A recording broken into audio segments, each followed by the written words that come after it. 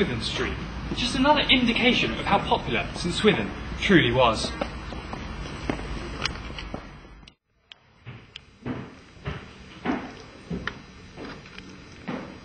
We're here at St Swithun upon Kingsgate, a church that is dedicated to St Swithun, just one of the many here in this area.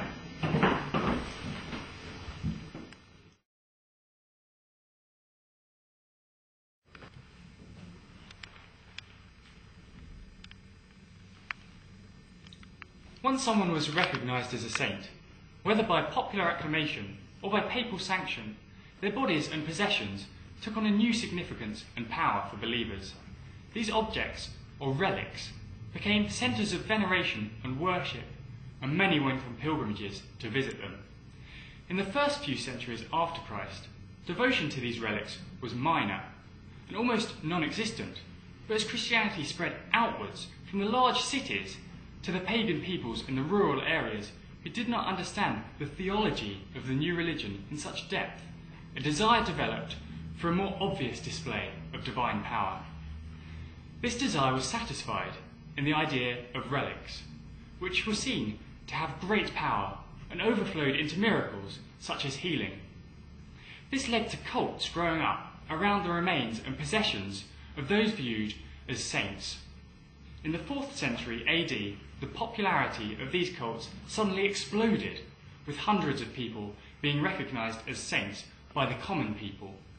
Theologians of the time, such as the great St. Augustine of Hippo, wholeheartedly accepted these cults and to, and to support them quoted scriptures such as Acts 19, verses 11 and 12, in which Luke, the historian of the early church, records that God wrought special miracles by the hands of Paul, so that from his body were brought unto the sick handkerchiefs or aprons, and the diseases departed from them, and the evil spirits went out of them.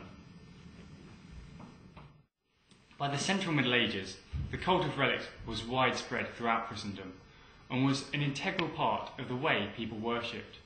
These relics were highly valued objects, and so they were often fought over, traded, and stolen. Stealing relics was particularly common in this period, and it was through this that most cults came to be widespread. To the modern mind, this seems like outright theft, and we expect that it was widely condemned by such a religious culture. But actually, it was universally agreed that if you succeeded in stealing a relic and didn't get caught, then it was the will of God and you were guilt free. Such an act was therefore known as furta sacra, sacred theft.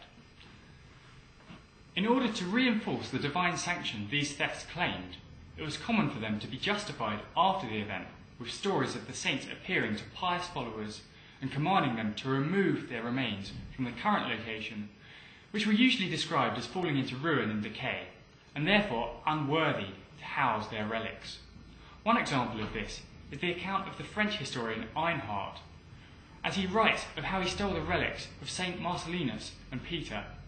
In his account, he tells how the saints repeatedly appeared to his servant, commanding him to remove the saints' bodies to a new location they had chosen.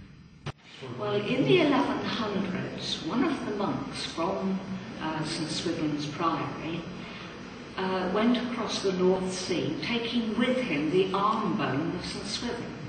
And there, in Stavanger, he founded the first cathedral. And this holy relic, the arm bone of St Swithun, was installed up by the high altar. Mind you, his head had already gone to Canterbury uh, in the year 1000 taken by Bishop Alphege. So I think there wasn't an awful lot left behind at Winchester. The dispersal of relics through theft and deliberate effort was motivated by the power attributed to them. In order to understand this, we must look at the role miracles had in the cult of medieval saints. Miracles were a central aspect of medieval Christian culture. In the Augustinian theology that was predominant at the time, there could be no Christian society without the miraculous.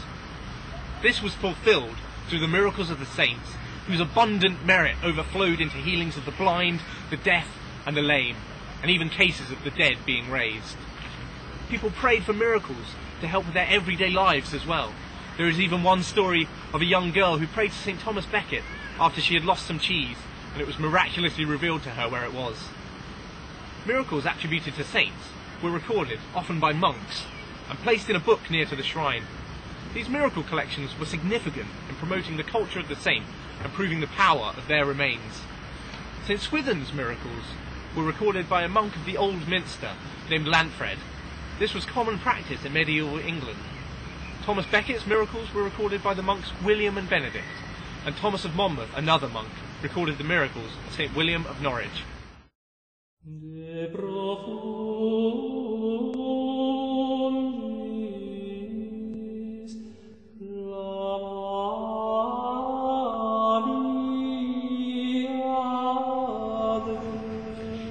Lantfred documents many miracles of St. Swithun. Here's one of them, concerning the prior. Similarly, a prior of the monastery of Abingdon was rendered blind for a period of 15 years. While he was being tormented by this extreme blindness, he went through a good many medicines, and once his head was cauterized with 12 separate sea rings, which of course did him no good, but a great deal of harm.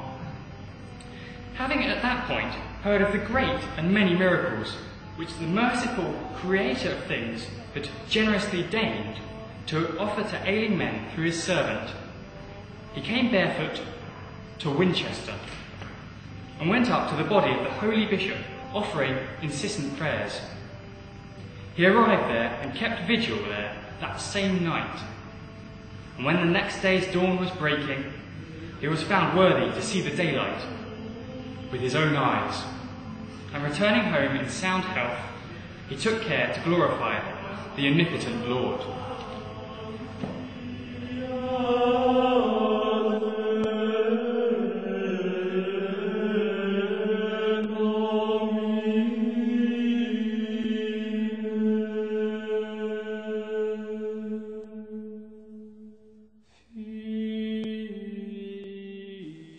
Having looked at how St. Swithun fits into the context of medieval saints, we have understood something of the important role saints played in medieval society. We will now briefly examine whether there is anything comparable to this in today's culture, and say if saints like Swithun still have a role to play. But his relevance today is because it's a kind of exciting story, and everybody wants to come We don't have saints as such today. We have people like, you know, David Beckham, Mother Teresa. Um, one time it was Britney Spears. Um, and everybody wants the cult of celebrity. They want to be near famous, which is why these pop stars with very little to go on are so famous. And St. Swithun, although there was very little known about him, and some people say this is why he was chosen to be they could say anything about him, so little was known, uh, they want a little piece of the action. Although, in today's culture, saints no longer have such a prominent role, it is clear that they still have a huge importance for historical study and even have interesting parallels with the modern phenomena of celebrities and the followings they acquire. The cult of St. Swithun does not exist today in the form it had in the medieval period, but it remains an important feature in the history and culture of Winchester.